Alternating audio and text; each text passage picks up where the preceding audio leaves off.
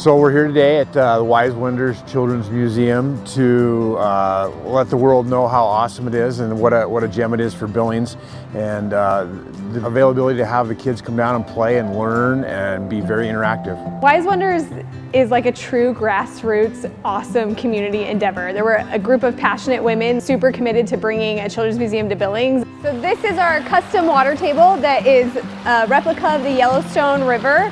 And what's really cool about this is this is a space where kids can learn about currents and they can also learn about dams.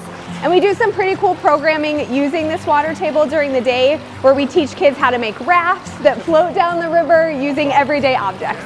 With our scarf wall, we're trying to teach the principle of flow, that if you have something that's blocking a system, it won't pass through anymore. And we can do that with air in our scarves, and it's really fun for kids to play with.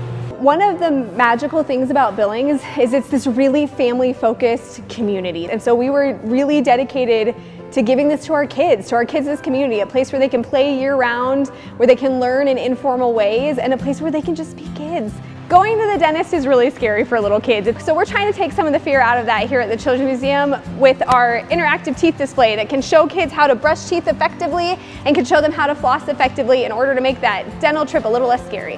What we really appreciate in our community support is our patrons can cover our overhead, but we need help with exhibits. And so the community support is huge for getting these cool water tables, for making a flow area with scarves, for making a grocery store. And that's why we're just so grateful for Valley and partnering with us to make these really awesome exhibits that can help our kids learn and grow and play.